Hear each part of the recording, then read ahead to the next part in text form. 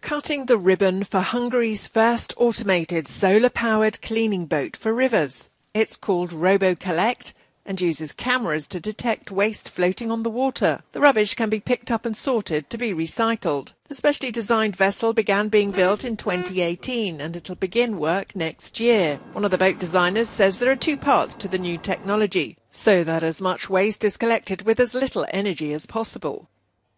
In order to cover a large area of the river, we use a bubble wall, a machine with iron teeth that picks up the rubbish. We sort it at the back of the boat and put it into big bags. The bags are taken ashore by small boats so the river cleaner doesn't have to dock. The sorting belt can detect plastic bottles, as our reporter explains.